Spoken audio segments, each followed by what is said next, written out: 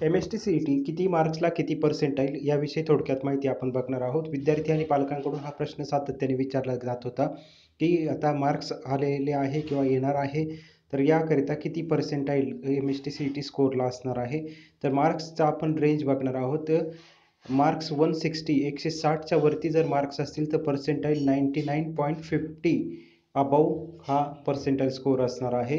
त्यानंतर marks one hundred fifty to one hundred sixty या रेंजमध्ये ज्या विद्यार्थ्यांना मार्क्स असतील त्यांना ninety nine plus percentile score हा असणार आहे. त्याचसोबत आणखी एक रेंज जी आहे one hundred thirty to one hundred fifty यामध्ये ज्या विद्यार्थ्यांचा स्कोअर असेल त्याकरिता ninety eight to ninety nine pursue plus percentile हा स्कोअर असू शकतो. त्याचसोबत one hundred ten to one hundred forty या रेंजमध्ये ज्या विद्यार्थ्यांचा M S T C E T score असू शकतो त्या विद्यार्थ्यांचा पर्सेंटाईल स्कोअर हा ninety six to ninety eight percentile या दरम्यान असू शकतो.